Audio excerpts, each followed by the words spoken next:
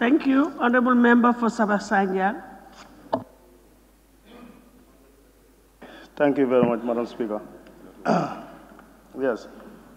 Um, Madam Speaker, as we know that we need to reduce the deficit, uh, my intervention will just go to certain key areas where I will make some kind of proposal in relation to the draft estimate. As I said, we need to reduce the deficit so that we can also reduce the interest payment or the rate, interest rate on, on, the, on the loans and make savings in the, in the, in the productive sector, uh, in the productive sector of the economy. Now, when I look at the budget, I observe that the allocation for vehicles, for me, is too much because 150 million is earmarked for vehicles, purchasing of vehicles. And I want to propose that maybe for that budget line, we downsize it to $100 million. Um, I have a lot of issues along various ministries, but I will just give out key, key areas. When we come to the committee of the whole house, I will come up with those suggestions. But for the purchase of vehicles, for me, 150 million is too much, looking at the deficit of the budget, looking at the, the, the level of our economy. We need to, as he said, start the, the physical discipline from our own selves. Um, going through the budget as well, I went, I look, also look at the travel votes. A sum of 300 million is captured or earmarked for that, for that vote, vote line or vote. And uh, I want to suggest that 200 million is really enough for that line.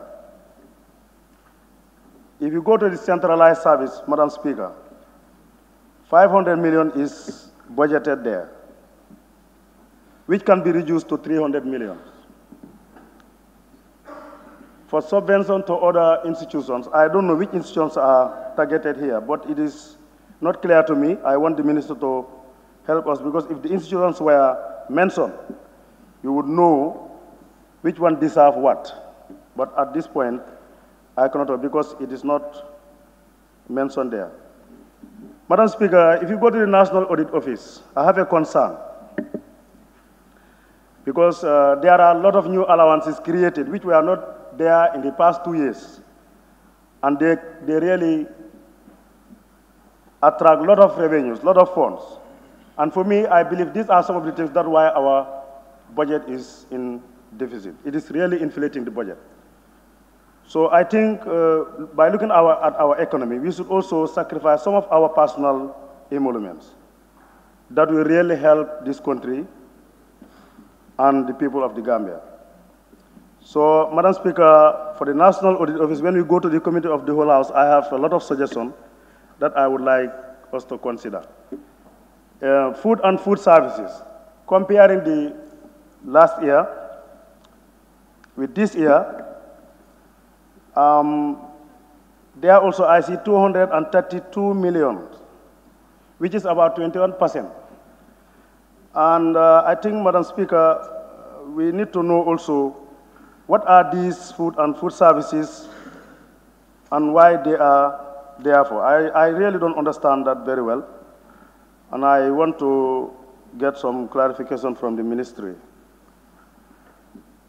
Now, anything that I mentioned, and uh, we are able to get or acquire some kind of savings, I want to employ the House to look at the, the, the productive sector of the economy, and we increase some of the you know, budget lines there. I will make some suggestions to some of the ministries that I really feel should be looked at. For example, works. Madam Speaker, we are all complaining of our bad roads in the country. And it is through this ministry that we should have these roads fixed. We cannot just depend on external, do, external funding for our infrastructure. um, looking at their development budget, I see some increment, but that doesn't enough. Because uh, since the inception of this government, if you go to the local, uh, the, the rural Gambia, only few, few areas are considered, and people are really complaining. And Madam Speaker, we are all politicians. If we don't deliver, especially in infrastructure, we cannot convince our people. That is a concern. Therefore, the Ministry of Works should really be resourced so that we can monitor them, follow them to see our roads fixed. Uh, Madam Speaker, youth transport, many, many speakers have said it here. It's another key area. And I think uh, we should really look into that. And there are some areas where we can really reduce to support those key ministries. I want to suggest the foreign affairs. We still need to downsize. They are still, they, they really reduced the, the budget compared to last year. But then there still more need to be done in that ministry. Because if you look at their allowances, what they, what they get as PEs is really big. It's a high chunk of money. So being the case, for the interest of the Gambia, I think we need to downsize the embassies or the missions to save money and fix our deficit budget. Um, agriculture, many people have said it, but for me, I have a different view. And I will make a suggestion because over the years, in fact, this year their budget is reduced. Many people have said it. But for me, it's fair because if you are giving something and we don't see any dividend, we don't see any, you don't convince people in terms of, you know, performance, actually, it will be difficult to give you extra money. And what I see I'm not really convinced with agriculture. In fact, I want to suggest that the, the entire management of that ministry be changed to have new people whether we can have, you know, a change. Yeah, that is my suggestion because over the years, they have a lot of projects, a lot of things have been, you know, given to that sector, but still Gambians are complaining of agricultural productivity. Actually, that is my own opinion. But we need to look at this thing closely and very seriously. Because we all believe that agriculture is one of the key areas that is engineering the, the, the economy of this country.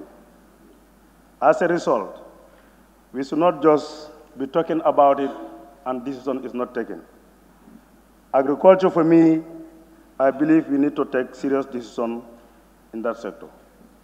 Because I have the belief that if agriculture is seriously handled, we will not talk about what we are talking today. Therefore, Madam Speaker, I in fact need, not intended to, to, to speak here. Um, we met yesterday and day before yesterday uh, during our committee sessions. We have a lot of issues and the reports are coming. I have also other personal observations regarding the budget. I want to reserve myself until the committee of the whole house when I will come with other details. Thank you very much. Thank you very much. Honorable Member for Banjul South.